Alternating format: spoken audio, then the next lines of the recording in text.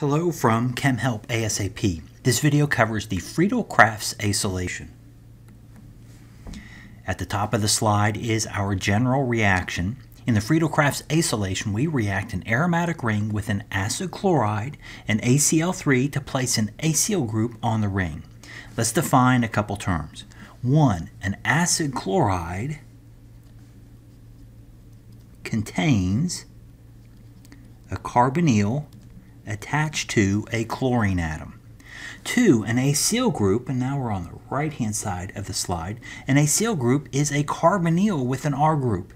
In this reaction, over the arrow, we have our acid chloride, a carbonyl attached to a chlorine, and the product ring has an acyl group, a carbonyl attached to an R group.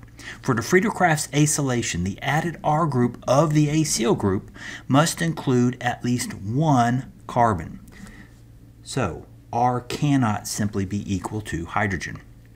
The active electrophile in this reaction forms when AlCl3 binds a lone pair from the chlorine atom.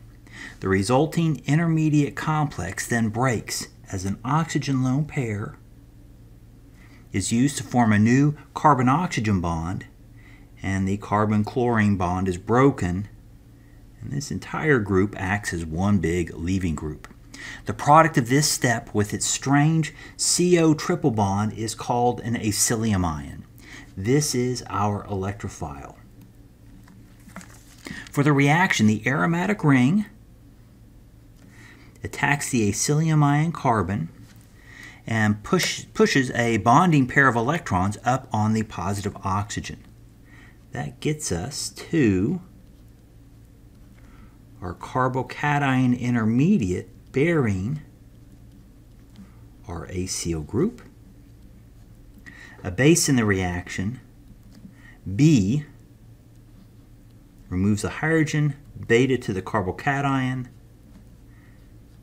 to restore aromaticity in our final acylated product. Like the Friedel-Crafts alkylation, the acylation places a carbon on the aromatic ring. Unlike the alkylation, the electrophile is not a standard carbocation, so the acylation avoids the risk of hydride shifts and carbocation rearrangements.